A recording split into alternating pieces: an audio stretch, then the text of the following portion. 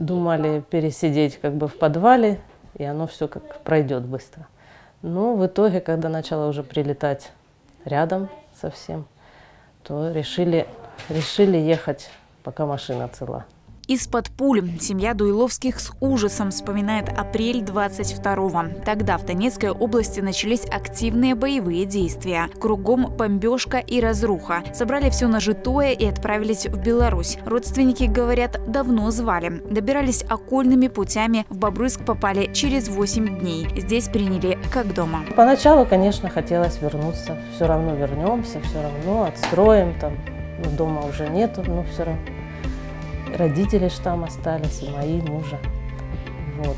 Но потом, когда вот все это затягивается, все хуже и хуже, там никуда никаких продвижений нету, все равно бомбят и все. Постоянно эти сертификаты вот на продукты дают. Потом сертификаты давали в детские перед школой, перед Новым годом.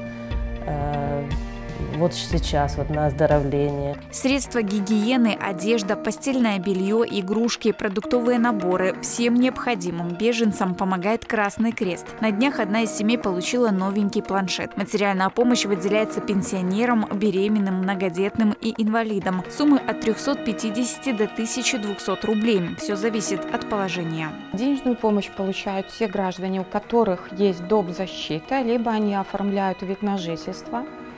А, те граждане, которые оформили а, паспорт Республики Беларусь, они находятся под защитой нашего государства и имеют все права и гарантии, а, как и наши жители.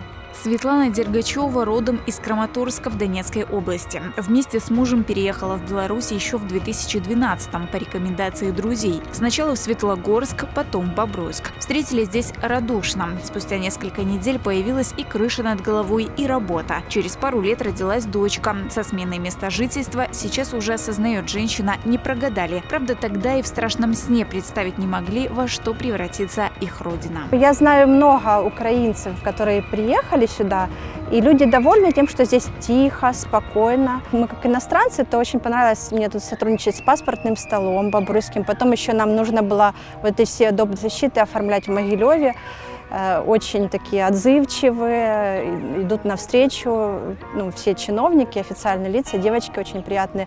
И вот как раз там в Могилеве меня с Красным Крестом как бы познакомились, сказали, что вот ну, я могу обращаться или по поводу себя, или по поводу ребенка, ну, потому что в стране война, да, как бы я не могу туда вернуться. Наша республика, в отличие от страны-соседки, делает все возможное, чтобы сохранить братские узы. С начала специальной военной операции сюда перебрались свыше 90 тысяч украинцев. Повод уехать у всех один, а путь к миру долгий. Маршрут пролегает через Польшу, Латвию и Литву. Но эти государства для них всего лишь транзит. Конечная точка – островок безопасности – Беларусь. Беларусь. Ольга Васенда, Дмитрий Шевцов, Бобруйск, 360.